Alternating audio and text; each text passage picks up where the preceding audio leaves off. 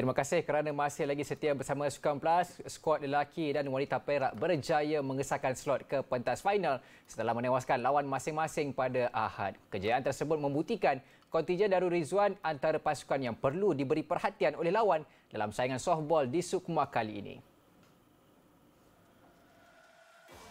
Dalam aksi di Padang Institut Kemahiran Belia Negara IKBN Miri, skuad lelaki Perak diberi tentangan sengit oleh Terengganu apabila tiada larian jaya dihasilkan sehingga tamat ining ketiga. Perak bagaimanapun mengubah kedudukan itu pada ining keempat apabila membuat tiga larian sebelum menambah dua lagi larian pada ining keenam.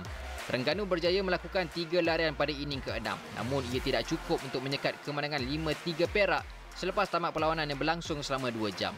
Ditemui bernama TV selepas perlawanan, Pengendali softball Perak Rizwan Rawi berkata, kurangnya kesilapan mudah menjadi faktor utama anak didiknya berjaya mengekalkan rekod tanpa kalah sejak peringkat kumpulan.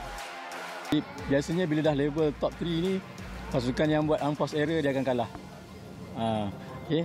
Daripada unforced error tu biasanya akan menghasilkan skor kepada tim lawan. Jadi Alhamdulillah kita sangat minimum lah unforced error pada hari ini.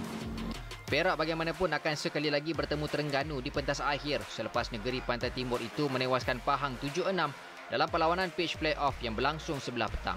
Untuk rekod, softball menggunakan format berbeza apabila juara bagi kumpulan A serta B akan bertemu dan pemenang akan mara ke final. Manakala pasukan yang kalah perlu berentap dengan pemenang bagi perlawanan naib juara kumpulan A dan B dalam perebutan tiket ke pentas final.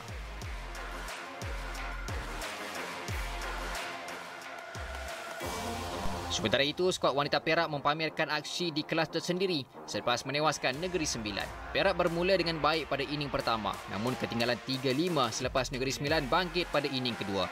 Taktikal lebih kemas bagaimanapun dipamer Perak dalam ining keempat hingga keenam apabila menambah tujuh lagi larian untuk mencatat kemenangan 10-8. Menanti Perak di pentas final adalah Johor yang menewaskan Negeri Sembilan 14-3 dalam aksi pitch play-off.